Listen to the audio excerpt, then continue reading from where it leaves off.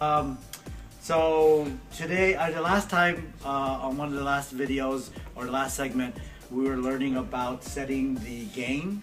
Okay, so you guys remember, uh, just a quick review on how to set the gain is uh, um, uh, you have the, in the preamp, you have the plus 48 volts uh, so that it automatically adds the voltage to, to, to the gain there, or you can pad it, okay, and then you have your gain knob. So uh, as you turn the gain, you know, you get you know more and more uh, uh, sound out of the system. Okay, so remember what I like to do is uh, uh, mute the system, set set the faders at unity. Okay, turn up the gain until you get clipping.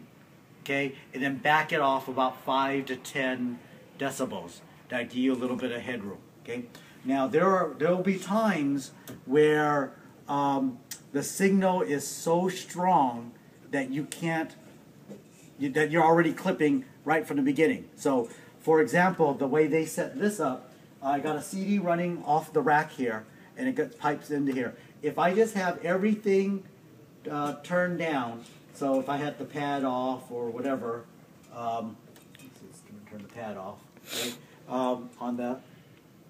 I bet you it was in between songs. Okay, uh, you'll note that as soon as the songs start playing, you're already clipping the system.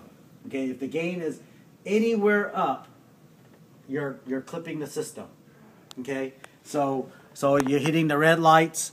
Uh, all the all the warning lights are coming on. Okay, so and there's very little. You could turn the gain all the way down.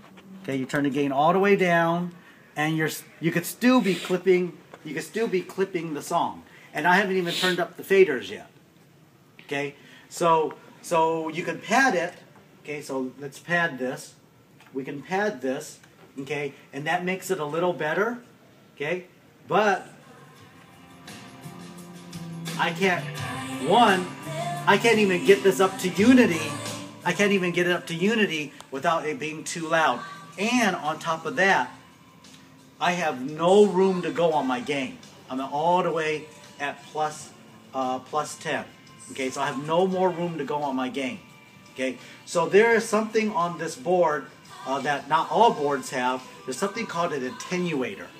Okay, what an attenuator does is uh, it if gain adds sound to the system, an attenuator takes it away. Okay, it attenuates it. Almost like it's, it, it's, it sounds like a volume control. It attenuates it. So it brings it back. So on this system here, you if you look at the, the panel here, you got preamp. Okay, here's your controls your preamp. To the right of it, you have something that is called ATT. Okay, it's an attenuator. You can take your control knob buttons and and highlight it. Okay, so I can highlight my attenuator, and now with the control wheel, I can reduce the amount of sound. Okay, or increase it. Okay, that's a digital boards allow you to add as well, as well as decrease.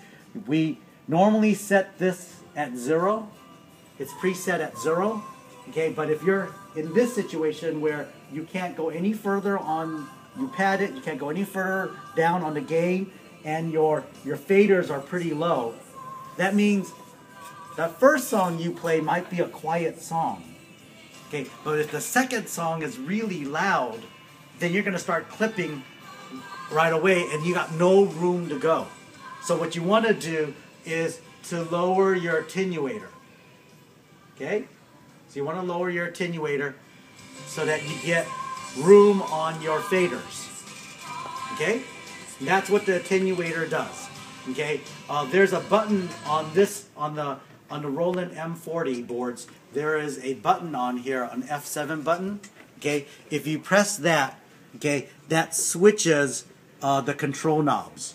Okay, this is kind of important to note because sometimes this gets switched and you're not sure what you're controlling. If if the attenuated control button, the F7 button is switched, that means this control knob over here, the gain button, actually isn't operating the gain anymore. It's operating the attenuator. Okay, and then the wheel operates the gain.